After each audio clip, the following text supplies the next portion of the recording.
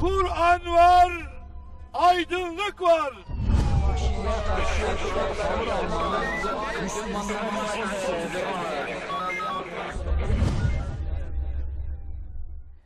Ve MTV Ana Haber Bülteni başlıyor ama öncesinde kısa bir haber turumuz var. Haber turumuzun ardından günün önemli gelişmeleriyle karşınızda olacağız.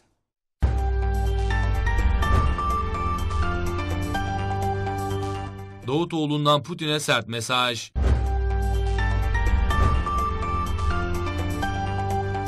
Mehmet Görmez, Diyarbakır'da Kur'an kursunda yanarak şehit olan talebelerin cenazesine katıldı.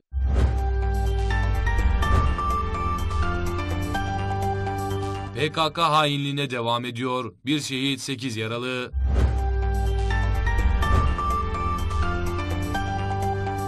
ABD'de silahlı saldırı gerçekleşti.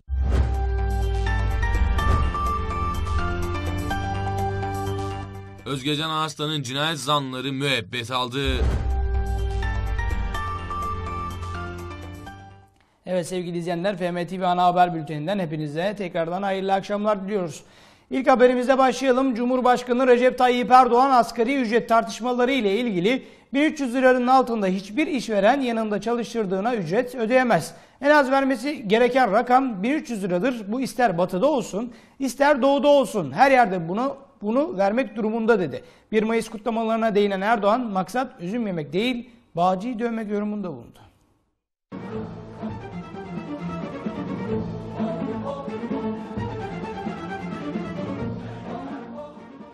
Cumhurbaşkanı Recep Tayyip Erdoğan, Büyük Anadolu Otel'de düzenlenen Türkiye İşçi Sendikaları Konfederasyonu 22. Olağan Genel Kurulu'nda konuştu.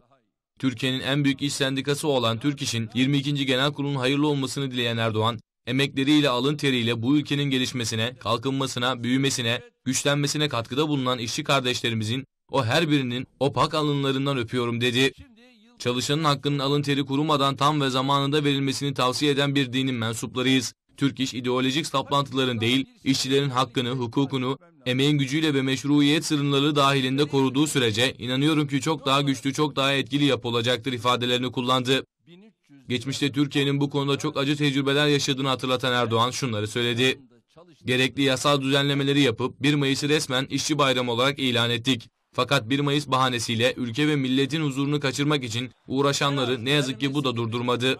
Resmen kabul edilmiş bir bayram olmasına, bu çerçevedeki her türlü etkinliğe izin verilmesine rağmen yine ortalığı yakıp yıkanlar, cam ve çerçeve indirenler, polise saldıranlar var. Çünkü bunların 1 Mayıs'ı bir işçi bayramı olarak görmek diye bir dertleri yok.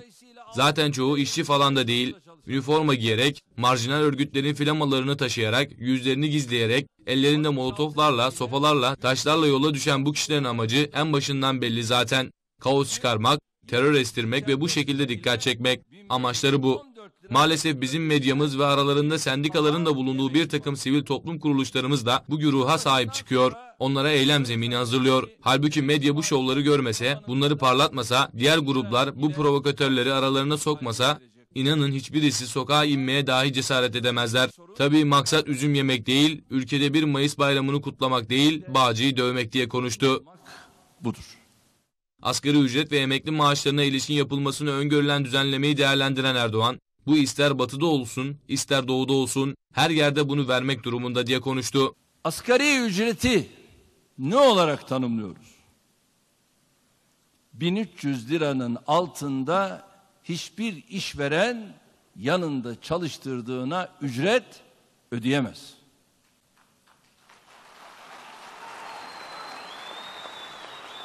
En az vermesi gereken rakam nedir?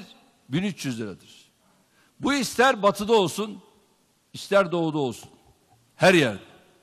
Bunu vermek durumunda. Efendim Güneydoğu'da, doğuda geçim şartları daha kolay. Dolayısıyla 600 liraya, 700 liraya da burada çalışan var. Diyemezsin. 1300 lira vereceksin. Onayın aslı bu. 2002 yılında ülkemizde emekli maaşlarının tabanları 66 lira ile 376 lira arasında değişiyordu. Bugün 785 lira ile 1514 lira arasında değişen bir taban emekli maaşı var. Yılbaşından sonra öyle sanıyorum ki emekli maaşlarının tabanında da bin lira ile ki alt sınır haline gelecek bu. O zaman inanıyorum ki bu sorun daha da hafiflemiş olacak. İşte emekçi dostu olmak budur. Burada bir şey daha var. Tabii bu tabandır. Tavan noktasında bir sınır var mı? Yok. Ne veriyorsan bunu ver. Cumhurbaşkanı Erdoğan Antalya'da düzenlenen G20 Liderler Zirvesi'nde işçi ve emekçilere dönük alınan kararları hatırlatarak şunları kaydetti. Buna ben bir taraftan paylaşımcılık derken diğer taraftan da şunu söylüyorum. Gelin bizim değerlerimizin içerisinde bir kanaat var. Kanaati her zaman işçiden beklemeyin. İşveren olarak siz de kanaat ekonomisini bir öğrenin. Kanaatten yana olun. Eğer işverenler olarak bu kanaat ekonomisine inanırsak ha o zaman inanıyorum ki terini kendine sermaye kazanç edindiğin bu insanlarla o paylaşıma girdiğin andan itibaren kazancın da daha da bereketlenecektir. Bunu aynı zamanda ben bereket ekonomisi diyorum. Suriye'de yaşananları yok sayamayız diyen Erdoğan şunları kaydetti. Onun için diyorum. Efendim neymiş? Birleşmiş Milletler'in kendilerine verdiği böyle bir yetki var. Neymiş o yetki?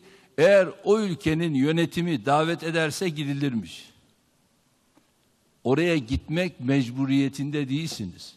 380 bin insanı öldüren katil Esed'in davetine icabet etmeye mecbur değilsiniz. O gayri meşru bir yönetimdir, meşru değildir. Bunu görmek durumundasınız. Bunu ben Sayın Putin'in kendisiyle çok konuştum. Onun için de burada açık ve net söylüyorum. Erdoğan'dan Rusya'nın Türkiye'de IŞİD'den petrol alıyor iddialarına sert yanıt vererek Rusların satranç ustası da bu işlerin içinde tüccarlığını yapıyor. Biz bunları elimizdeki belgelerle açıklamaya başladık, açıklayacağız dedi. Bakın Türkiye Cumhuriyeti'nin DAEŞ'ten petrol aldığını belgelerle Rusya ispat etmeye mecburdur. Aksi takdirde bu bir iftiradır. Eğer ispat ederse ben Cumhurbaşkanlığı makamında durmam. Ama ispat edemezse kendisi de makamını bırakır mı, koltuğunu bırakır mı bu önemli. Ha, kim alıyor? Onu da söyleyeyim. Hem Rus pasaportu sahibi hem de Suriyeli olan George Haşravi bu işin en büyük tüccarıdır. Ve DAEŞ'ten petrolü alıyor, hem rejime satıyor hem de uluslararası belli bu işi yapan camiaya satıyor. Bunu en son Amerikan Hazine Bakanlığı belgelerle açıkladı. Bir de meşhur Rusların satranç ustası var. O da bu yarışın içerisinde. O da bu petrol tüccarlığını yapıyor. Ve bunları biz elimizde belgelerimiz var. Bunlarla dünyaya açıklamaya başladık, açıklayacağız. Rusya Devlet Başkanı Vladimir Putin, Rus uçağının düşürülmesinin ardından Türkiye'ye karşı askeri tehditte bulunmayacaklarını ancak Türkiye'nin yaptığına pişman olacağını söyledi.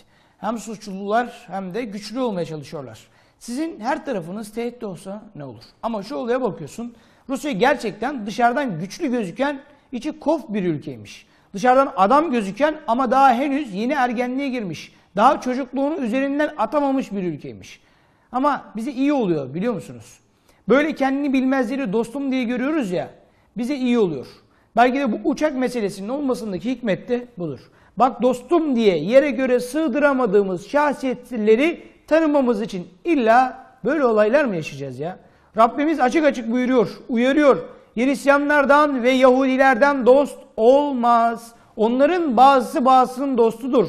Siz onların dinine girmediğiniz müddetçe onlar sizden razı olmazlar.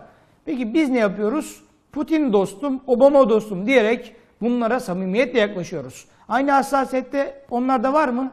Zerresi yok. İşte efendim Obama bizi savunmuş, NATO bize destek verecekmiş.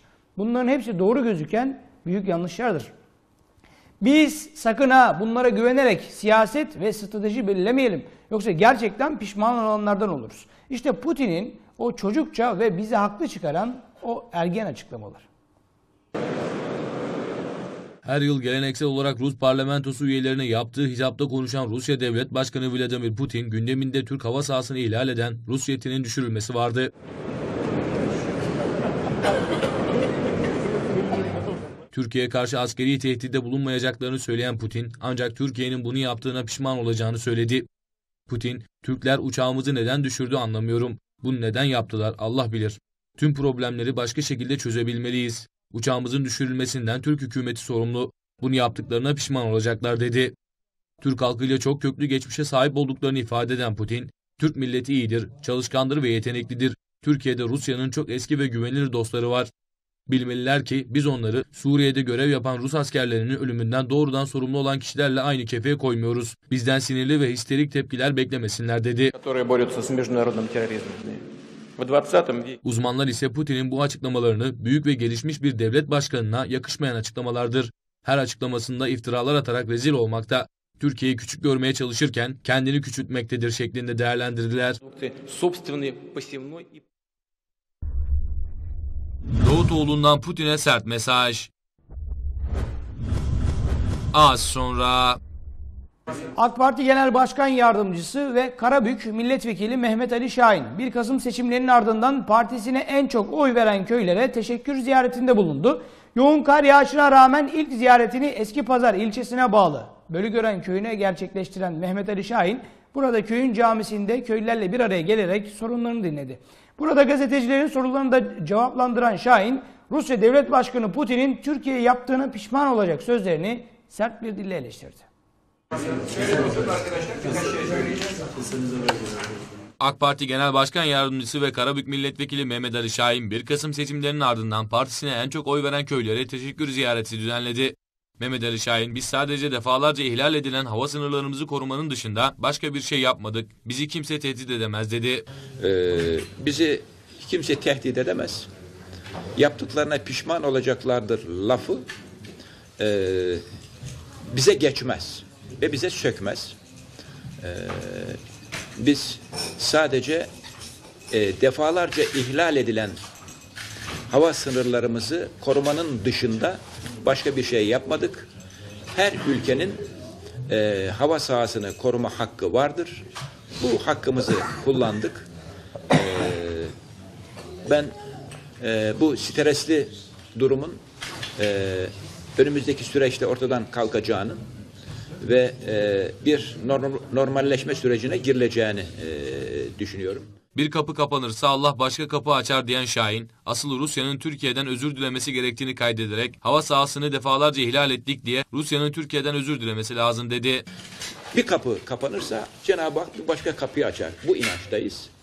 E, o bakımdan bizim herhangi bir tedirginliğimiz yok. E, biz sadece hava sahamızı savunduk ve koruduk. E, bundan pişman falan da değiliz. E, aslında hava sahanızı defalarca ihlal ettik diye Rusya'nın Türkiye'den özür dilemesi lazım. Özür dileriz. Bizim pilotlarımız yanlışlık yapmışlar. Türkiye'nin hava sahasını daha önce de birkaç kez uyarmış olmalarına rağmen ihlal etmişler. Özür dileriz deme, demeleri gerekirken şimdi kabadayıvari bir eda ile e, yapmış oldukları açıklamaları e, sadece tebessümle karşılıyoruz. Mehmet Ali Şahin, kaybeden Rusya olur, bunu yakında kendileri de görmeye başlayacaklar dedi. Ee, küçük, ilgisiz, dünyada etkinliği olmayan bir ülke falan değiliz. Bakın e, Sayın Cumhurbaşkanımız e, Katar'a gitti. E, Katar hiç merak etmeyin biz doğal gazınızı karşılarız dedi ve çok önemli anlaşmalar yaparak geri döndü. Arkasından inanıyorum ki başka ülkelerle de buna benzer anlaşmalar yapılır. E, aslında kaybeden e, Rusya olur. Bunu yakında kendileri de görmeye başlayacaklardır. Şahin'e köy ziyaretlerinde AK Parti İl Başkanı Timur Çınsaylar, İl Genel Meclis Başkanı Hasan Yıldırım, Özel İdare Genel Sekreteri Mehmet Uzun, Eski Pazar Belediye Başkanı Dursun Baş ve İl Genel Meclis üyeleri eşlik etti. Başkanım çok kayıyor ama.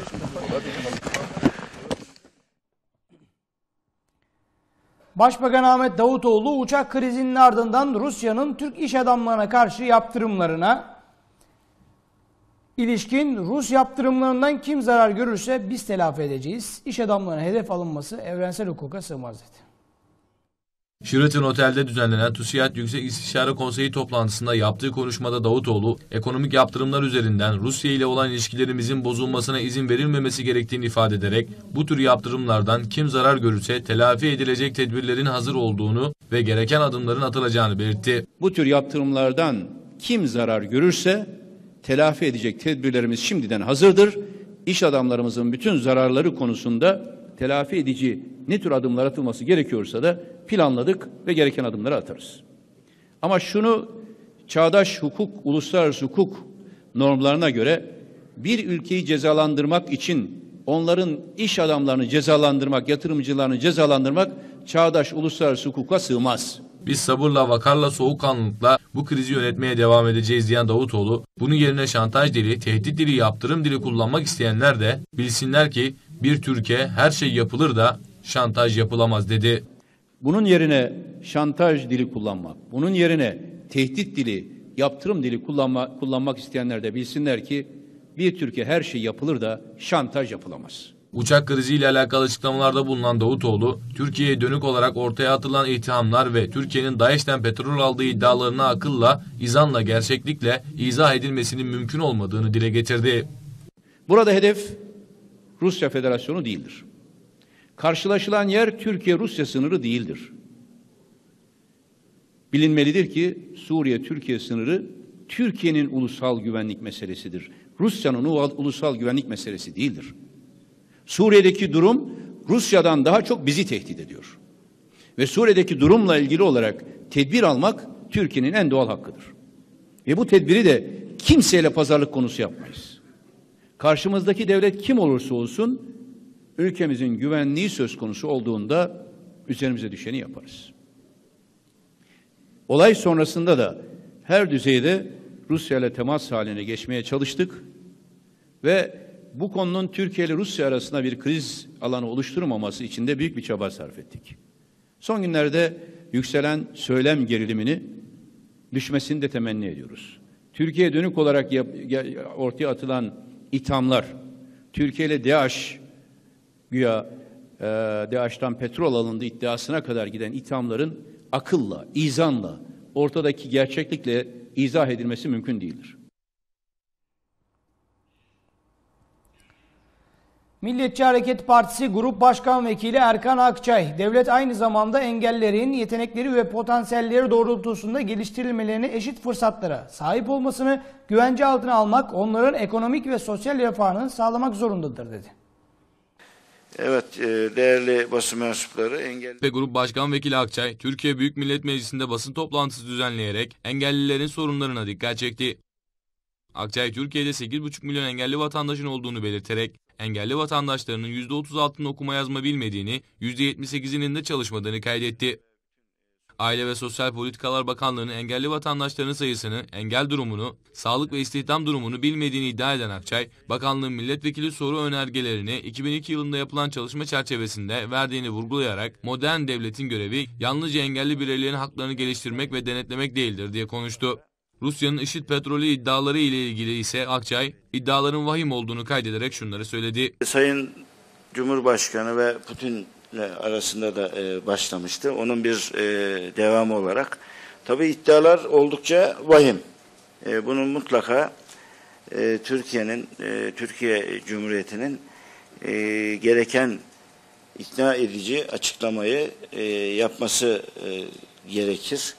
E, kesinlikle bunlar e, yenilir yutulur iddialar e, değildir.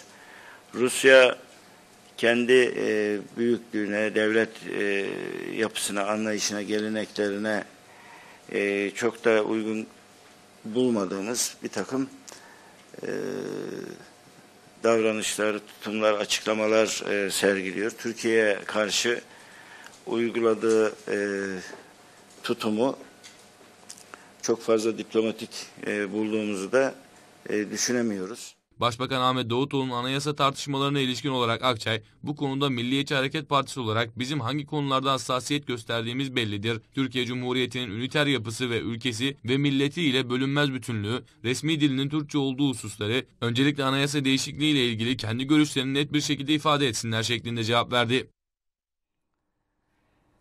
Gıda, Tarım ve Hayvancılık Bakanı Faruk Çelik, Rusya Başbakan Yardımcısı Dimitri Medvedev'in Türkiye'den tarım ürünleri, sebze ve meyve ithalatı yasaklanacak açıklamalarına ilişkin Rus hükümeti tarafından ifade edildi ama bize henüz resmi olarak ulaşmış bir durum yok dedi.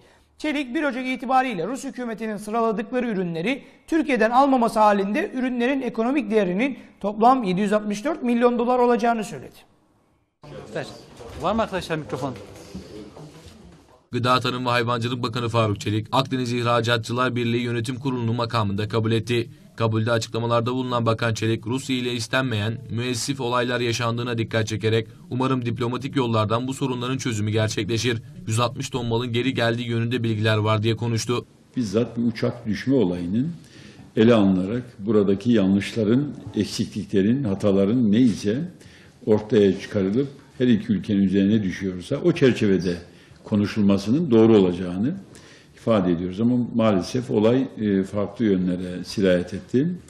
1 Ocak itibariyle e, sebze, meyve ve beyaz et üzerinde e, bazı ithalatla ilgili kısıtlamalar getireceklerini yönetim karara aldığını ifade ediyor. Henüz bize resmi olarak ulaşmış bir durum yok ama bu açıkça hükümet, Rus hükümeti tarafından e, ifade edildi, ortaya kondu. E, bu önümüzde bir aylık bir süre var. Bu ay içerisinde bugün aldığımız bilgilere baktığımız zaman gerek limanlarda gerekse gümrükteki malların alımına e, başlandığı da e, ifade ediliyor. Açıklamaların ardından gazetecilerin sorularını cevaplayan Bakan Çelik, 160 ton malın geri geleceğini ifade ettiniz. Bu ürünler nasıl değerlendirilecek sorusuna şu andaki ihracatımızı dikkate alıp veya gümrükte bekleyen malların dikkate aldığınız an bunun da normale dönmeye başladığını ifade ediyorum. Karşımıza çıkacak şu kısa dönemde yaşanan ne gibi yaş meyve sebze ile ilgili ne kadar sorun çıkacak henüz tespit edilmiş değil.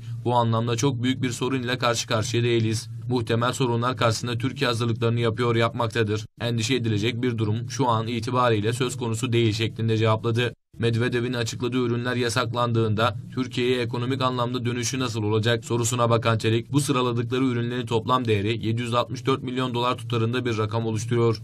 1 Ocak için söylüyorum diye cevap verdi. Diyanet İşleri Başkanı Profesör Doktor Mehmet Görmez, Diyarbakır'ın Kulp ilçesindeki bir Kur'an kursunda çıkan yangında hayatını kaybeden 5 çocuğun cenaze namazını kıldırdı. Görmez burada yaptığı açıklamada tek tesellimiz ilim yolunda hükmen şehit olmalılar dedi. Evet biz de cennet bahçesinde hayatlarını kaybeden bu yavrularımıza Allah'tan rahmet yakınlarında sabri cemiller niyaz ediyoruz. Diyanet İşleri Başkanımızı da duyarlılığından dolayı tebrik ediyoruz.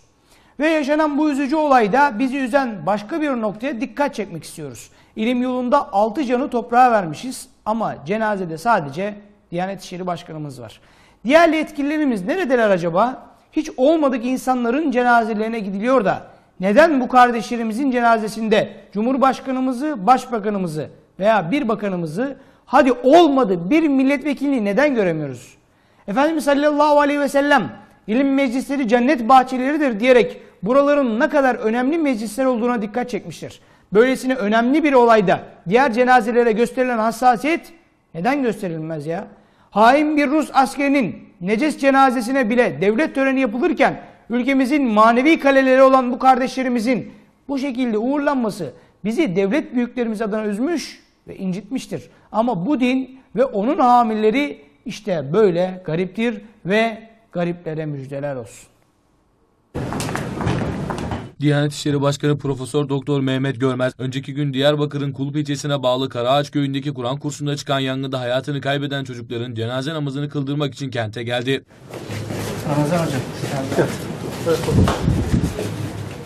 Profesör Doktor Görmez, Dicle Üniversitesi Camisi'nde düzenlenen törene gelmeden önce yangında hayatını kaybeden çocuklardan Muhammed Bingöl, Sabahattin Altun, Serhat Sancar, Suat Çankaya ve Şahin Kahraman'ın cenazelerinin içinde bulunduğu tabutlar camiye getirildi. Burada hayatını kaybedenler için Yasin okunup dua edildi. Daha önce Dicle Üniversitesi Camisi'ne gelen Profesör Doktor Görmez, Kur'an kursunda çıkan yangından hayatını kaybedenlerin tek tek cenaze namazını kıldırdı.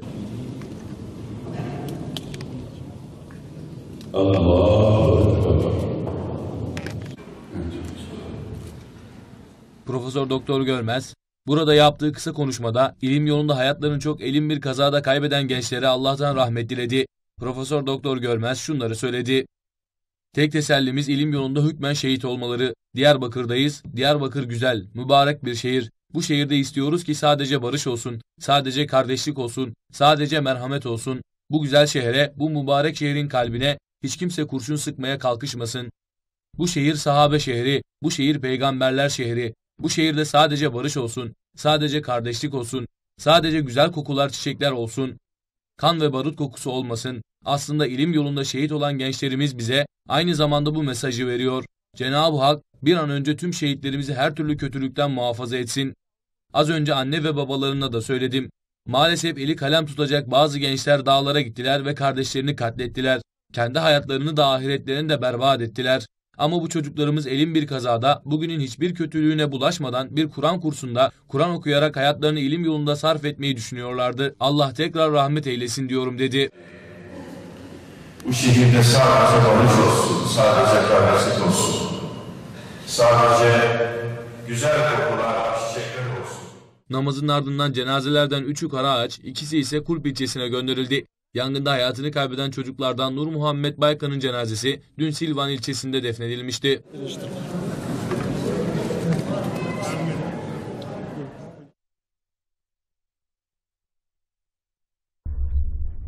PKK hainliğine devam ediyor. Bir şehit 8 yaralı. Az sonra...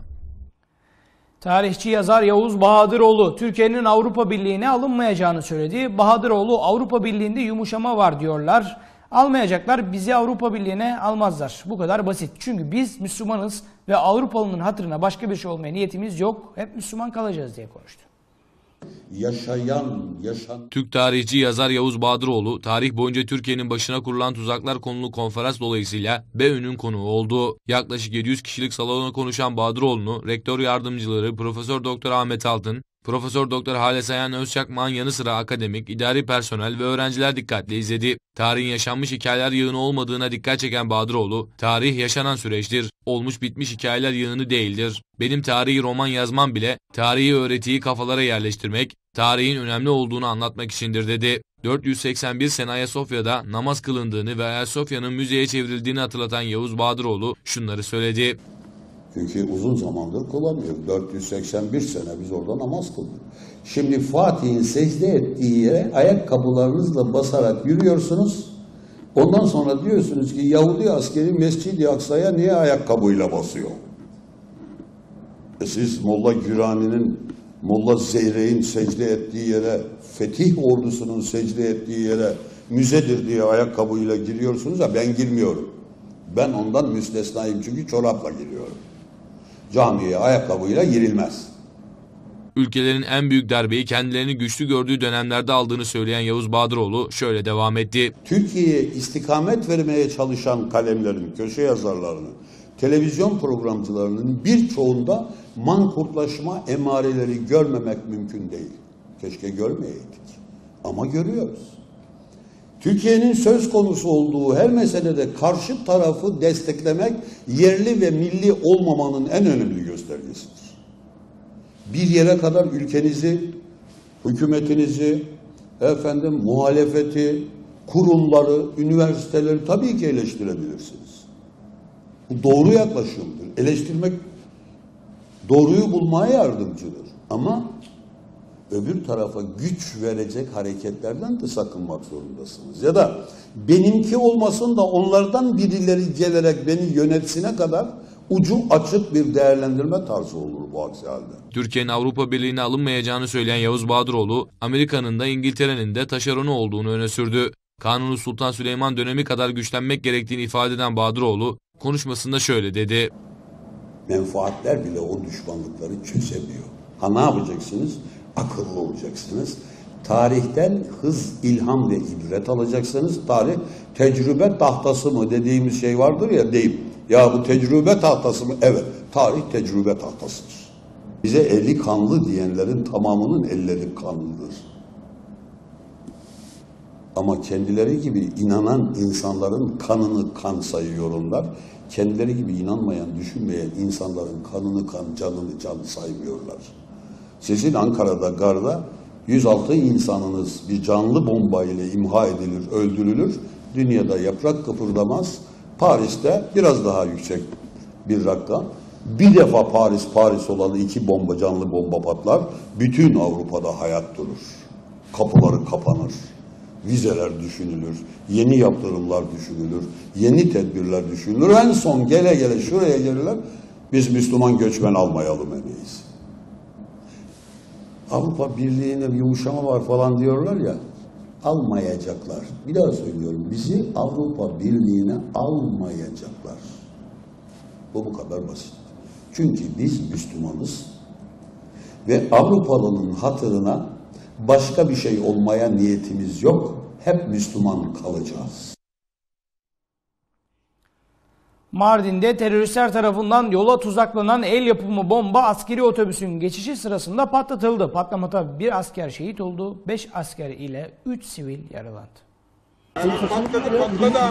Edinilen bilgiye göre olay saat 17.40 sıralarında Merkez Artuklu ilçesi otogar mevkiinde meydana geldi.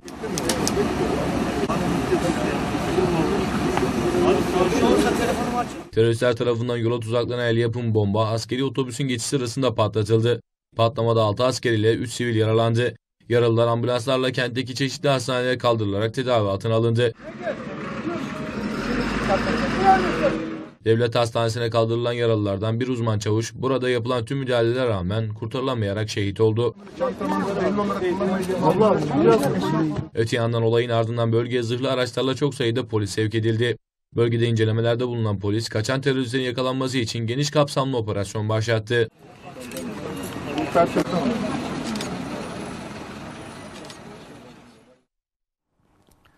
PKK halka rahat vermiyor. Sokağa çıkma yasağının devam ettiği Diyarbakır'ın Merkez Sur ilçesinde sabah saatlerinde başlayan çatışmalar sürüyor.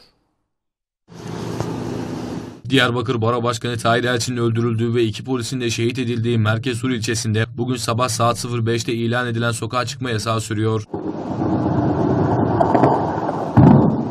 Yasağın ilan edilmesiyle birlikte başta İstanbul olmak üzere Türkiye'nin çeşitli illerinden sevk edilen özel harekat ve terörle mücadele polislerinin katılımıyla geniş kapsamlı operasyon başlatılan ilçede şiddetli çatışmalar yaşanırken yer yer patlama sesleri yükseliyor.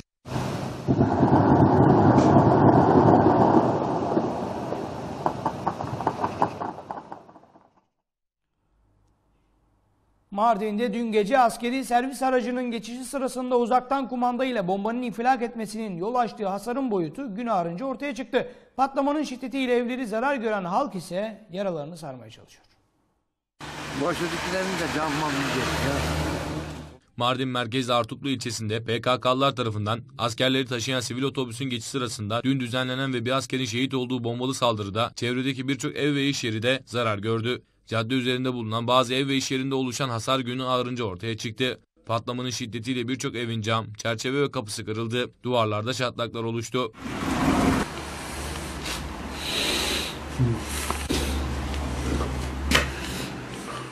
Evi zarar gören Şeyhmuz Akan, dün saat 17.15'te büyük bir patlama sesi duyduklarını, patlama sesiyle önce annesine baktığını, daha sonra da dışarı çıktığını söyledi. Akan sözlerine şöyle devam etti. Beşin beş. Ben tam o kıvrın hizasındayım. O bakkal var yukarıda. Evet. Orada baktım bir patlama oldu. Döndüm arkamda baktım. Bizim evin orası ateş alıyor. Geldim yetiştiğimde annemde baktım. Annemde bir şey yok. Çıktım otobüstekileri yardım ettim indirdik. Bağırdık çağırdık orada geldi. Vatandaşlar ne 112 geldi, ne itfaiye geldi, ne polis geldi, ne jandarma geldi.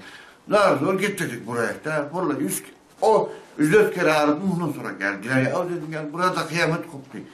Askerlerin parmakları, askerler hepsi şoktaydı. Hepsi baktım, abi abi dedim tamam böyle geliyor size yardım edecek. Olay böyle geçti. Sonra baktık evlerimiz hepsi tahrip oldu. Her trafik oldu. Ne cam kaldı, ne kaldı, ne çerçeve, ne kapı kapanıyor. Oruç kapımız da kapanmıyor. Allah hayırlısını yapsın. Evi zarar gören ve Arapça konuşan Hasine Akan ise çok korktuklarını, kapı ve pencerelerinin kırıldığını söyledi. Diyarbakır'da şüphe üzerine durdurulan araçtan cephanelik çıktı. Teröristlerin planladıkları eylemlerinde kullanmak üzere kente getirmeye çalıştığı çok sayıda roket atar mermisi ve bomba ele geçirildi. Diyarbakır Emniyet Müdürlüğü'nce gece çift 015 sıralarında Silvan Bulvarı'nda şüphe üzerine durdurulan araçtan cephanelik çıktı. Emniyet Müdürlüğü'nden yapılan açıklamada araç içerisinde yapılan aramada 8 adet RPG-7 antitank roket mühimmatı, 8 adet roket atar sevk motoru, 26 adet el bombası, 2 adet Kalashnikov marka uzun namlulu silah, 1 adet av tüfeği, 2 adet kütüklük, 3500 adet Kalashnikov marka silaha ait fişek ve çok sayıda tıbbi malzemenin ele geçirildiği bildirildi. Araç şoförün gözaltına alındığına dikkat çekilen açıklamada konu ile ilgili tahkikatın devam ettiği kaydedildi.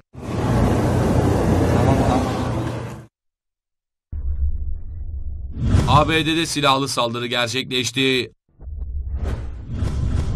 Az sonra Kartal sahilde çöpe atılan bomba düzenekli yelek polisi alarma geçirdi. Bomba imha uzmanının sevk edildiği olay yerine gelen bir şahsın yeleği kendisinin aldığını ve film setinden aldığını söylemesi üzerine herkes rahat bir nefes aldı.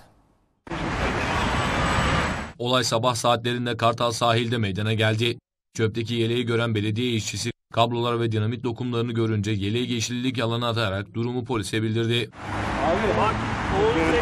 Olay yerine gelen ekipler yeleğin üzerindeki kabloları ve düzenekleri görünce çevrede geniş güvenlik önlemi aldı.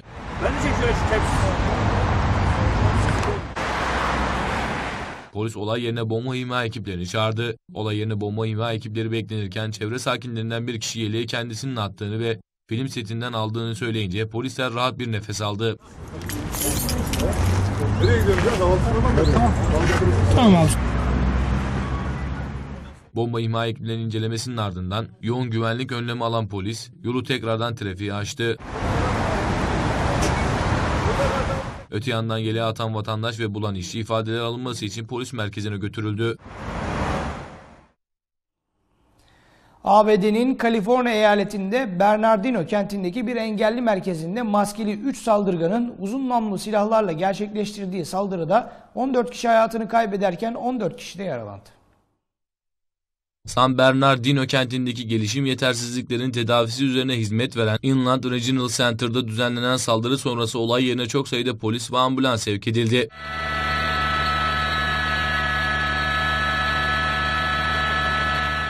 Yaralananlar en yakın hastanelerde tedavi altına alınırken SWAT ekipleri ve bomba imha ekipleri de binada arama yaptı. Saldırı sonrası merkezde bulunanlar tek sıra halinde bahçeye çıkartılırken tek tek üstleri arandı. Saldırıyla alakalı bilgi veren San Bernardino polis müdürü, kar maskeli üst saldırganın tabanca değil uzun namlu silahlarla geldiğini ve önceden hazırlıklı olduklarının anlaşıldığını söyledi.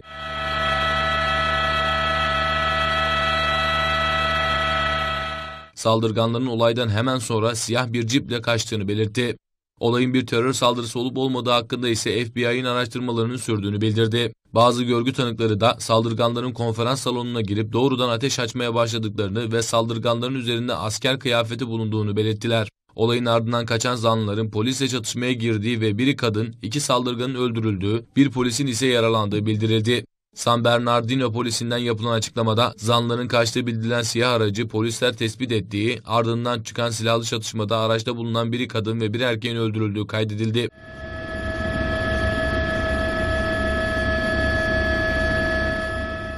Çatışma sırasında bir polisin yaralandığı, olay yerinde kaçmaya çalışan bir kişi de gözaltına alındığı ifade edildi. Polis gözaltına alınan kişinin olayla ilişkisi olup olmadığını henüz tespit edilemediğini açıkladı. İki saldırganın öldürüldüğü siyah cipte uzun namlulu silahlar bulunduğunu, zanlıların siyah giyimli ve çelik yelekli olduğunu belirten polis yetkilileri, saldırının nedenine ilişkin ise henüz açıklama yapmadı. Los Angeles'ın 96 kilometre doğusunda bulunan San Bernardino kentindeki Inland Regional Center'da 670 kişinin çalıştığı ve 30.200 kişiye hizmet verildiği biliniyor. Saldırı sırasında merkezde kaç kişinin bulunduğu belirtilmedi.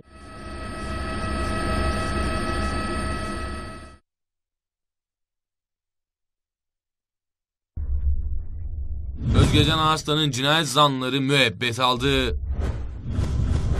Az sonra İzmir merkezli 16 ilde düzenlenen operasyonda askeri casusluk davasında sanıklar hakkında sahte delil üreten aralarında emniyet müdürlerinin de bulunduğu 16 kişi gözaltına alındı.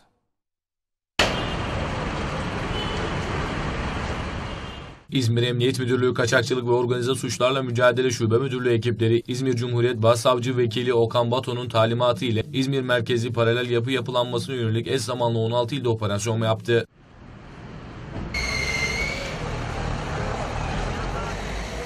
Yapılan aramalarda aralarında emniyet müdürlerinin de bulunduğu 16 şüpheli gözaltına alındı. Öte yandan 24 kişi hakkında yakalama kararı bulunduğu, 9 kişinin aranmasına da devam edildiği bildirildi. Operasyonun askeri casusluk olarak bilinen gizli bilgi ve belge bulundurma davasındaki sanıklar hakkında sahte delil üretmek suçlaması ile yapıldığı belirtildi. Operasyon 3 Kasım tarihinde yapılan birinci dalgasında gözaltına alınan 36 şüpheliden 17 kişi tutuklanmıştı.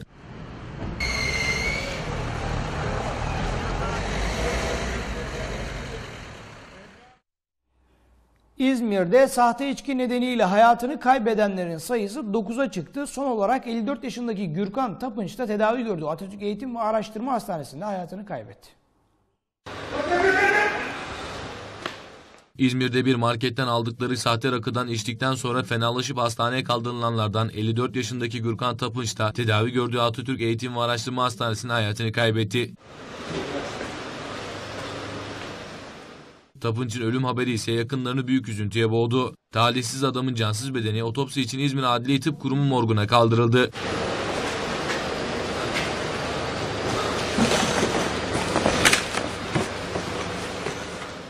Sahte rakı nedeniyle daha önce 8 kişi hayatını kaybetmişti.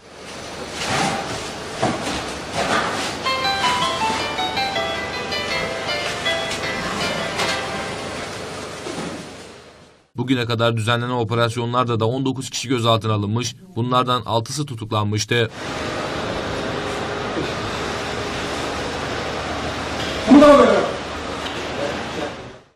Mersin'in Tarsus ilçesinde evine gitmek için bindiği minibüsün şoförü tarafından hunharca katledilen ve Türkiye'yi ayağa kaldıran Özgecan Aslan cinayetinin Tarsus Adliyesi'nde görülen davasında karar açıklandı. 3 sanık hakkında ağırlaştırılmış müebbet hapis cezası verildi. Peki yeterli mi? Gereken cezalarını buldular mı? Tabii ki hayır. Sen masum, savunmasız bir insanı yeryüzünün görmediği bir canilikle katledeceksin. Yapılan zulüm karşısında Türkiye ayağa kalkacak, gidip içeride besiye çekileceksin. Söyleyin Allah aşkına ya bu zalimin nefes almaya hakkı var mı? Al bakalım bu caninin canını, bak bakalım bir daha birisi böyle bir harekete bırakın cüret etmeyi aklından bile geçirebiliyor mu? Ama bunu söyleyince hemen biri, birileri şeriat otlakçılığı yapar. Ya efendim şimdi bu zamanda böyle olur mu der. Öte yandan zalimler, caniler rahat rahat istediklerini yapar. Her türlü zulüm ülkemizi ve yeryüzünü sarar. Neden bu caniler hapiste besiye çekiliyor? Yazık değil mi gencecik yaşta hayatı kararan bu cana? Anasına babasına. Bizim burada tek tesellimiz namusunu korurken öldürülen bu masum canımızın şehit olmasıdır. İnşallah hayatının baharını artık cennette yaşar ama zannetmesinler ki bu iş dünyada bitmiştir. Esas hesabı ahirettedir ve cehennem azabı gerçekten çok çetindir. Zalimler ve caniler için özel tarifeler de vardır. Şimdi haberimizin detaylarına geçiyoruz. Çağ Üniversitesi'nden evine gitmek için bindiği minibüsün şoförü tarafından hunharca öldürülen Özgecan Aslan'ın katil zanları Supi Altındöken, babası Necmettin Altındöken ve arkadaşı Fatih Gökçe'nin tutuklu yargılandığı davanın 3. duruşması Tarsus 1. Ağır Ceza Mahkemesi'nce yapıldı. İyi valla. Şey, buhar olsun. 11 Şubat'ta Özgecan Aslan'ı öldürdükleri iddiasıyla yargılanan her 3 sanık için de kasten canavarca hislerle ve eziyet çektirerek öldürme suçundan ağırlatılmış müebbet hapis isteniyordu.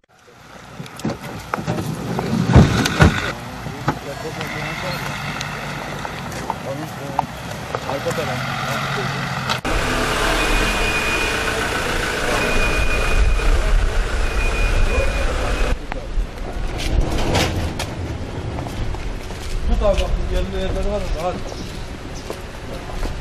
Abi siz dönün de baş taraf önce. Mersin'de katledilen Özgecan Aslan cinayetine karar açıklandı. 3 sanık hakkında ağırlatılmış müebbet hapis cezası verildi. İşlenen canice cinayet Türkiye'yi ayağa kaldırmış ve derinden üzmüştü. Cezayı değerlendiren uzmanlar böyle canilerin cezası hapis olmamalıydı. İçeride besiye çekilmek olmamalıydı. Bu insanlığından uzaklaşmış caniler yaşamayı hak etmiyor. Böyle insanların nefes alması insanlığa bir zulümdür. Bunlara öyle bir ceza verilmeliydi ki insanlar bu tarz bir şeyi bırakın yapmayı akıllarından bile geçiremeyeceklerdi.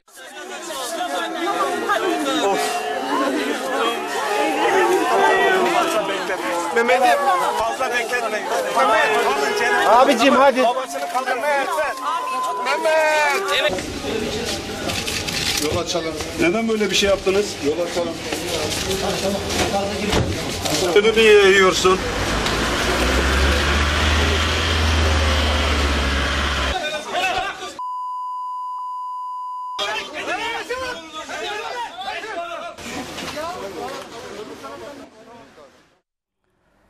Adana'da çoğu dolandırıcılık olmak üzere 33 ayrı suçtan 40 yıl 8 ay kesinleşmiş hapis cezası alan hükümlü yakalandı. Edinilen bilgiye göre olay Seyhan ilçesine bağlı Pınar Mahallesi'nde meydana geldi. İddiaya göre Adana Emniyet Müdürlüğü Asayiş Şube Müdürlüğü'ne bağlı infaz büro amirliği ekipleri hakkında dolandırıcılık, hırsızlık, tehdit, başkasına ait banka ve kredi kartlarının izinsiz kullanılması suretiyle yarar sağlama, konut dokunulmazlığının ihlali ve iftira suçlarından 40 yıl 8 ay kesinleşmiş hapis cezası olan hükümlü Erdal Güvercin'in Pınar Mahallesi'nde bir evde bulunduğunu tespit etti. Polis hemen evin bulunduğu adrese giderek apartmanın etrafını sardı. Bu sırada polisin geldiğini gören şahıs evden ayrılıp kaçmaya çalışırken polis hükümlüyü yakaladı. Emniyete getirilen hükümlü burada işlemleri tamamlandıktan sonra önce adliyeye ardından da cezaevine götürüldü.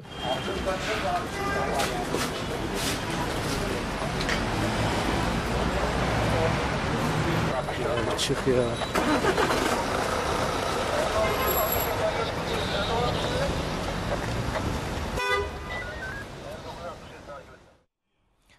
Bingöl'de 5.5 şiddetinde deprem meydana geldi. Depremin çevre illerden de hissedildiği öğrenildi. Can kaybının yaşanmadığı depremde bölge halkının korktuğu ve paniklediği söylendi. Boğaziçi Üniversitesi Kandilli Rasathanesi ve Deprem Araştırma Enstitüsü verilerine göre Bingöl'ün Kiyi ilçesinde bir saat içerisinde 4 ayrı köyde 13 ayrı deprem meydana geldi. En büyüğü 5.5 şiddetindeki depremde can kaybı yaşanmazken bir ev duvarının çöktüğü ve vatandaşların büyük panik yaşadığı öğrenildi. İlçe encümeni Abuzer Soydemir, depremin meydana gelmesiyle birlikte ilçeye bağlı tüm köy muhtarlarını aradığını ve ilk bilgilere göre herhangi bir can kaybının yaşanmadığını belirterek büyük paniğe neden olan depremde bir ev duvarını çöktüğü, birçok evde de çatlaklar oluştuğunu söyledi. İl Özel İdaresi'nden alınan bilgilere göre yoğun kar yağışı sebebiyle merkezde 5, Gerze'de 12, Ertelek'te 7, Dikmen'de 9, Ayancık'ta 5, Boyabat'ta 57 ve Durağan'da 23 köyün yolu kapalı durumda.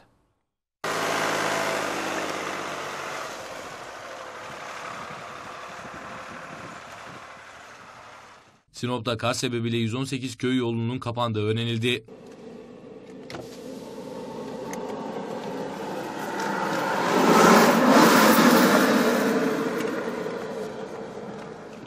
İl Özel İdaresi'nden alınan bilgiye göre yoğun kar yağışı sebebiyle merkezde 5, Gerze'de 12, Erfelek'te 7, Dikmen'de 9, Ayancık'ta 5, Boyabat'ta 57 ve Durağan'da 23 köyün yolu kapalı durumda. Bu sayının günün ilerleyen saatlerinde artabileceği öğrenildi.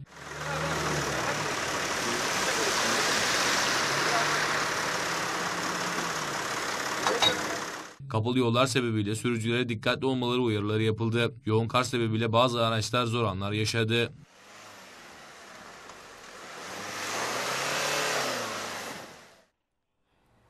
Evet sevgili izleyenler, bugünkü ana haber bültenimizin de sonuna geldik. Yarın aynı saatte görüşmek dileğiyle hepinizi Allah'a emanet ediyorum. Esselamu Aleyküm ve Rahmetullahi ve Berekatuhu. Kur'an var, aydınlık var. Müslümanların